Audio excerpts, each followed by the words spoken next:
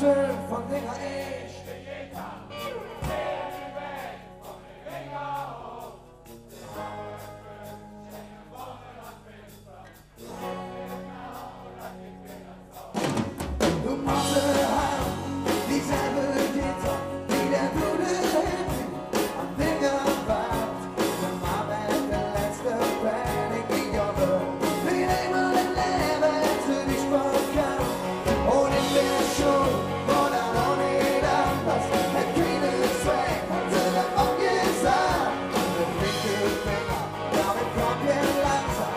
Oh.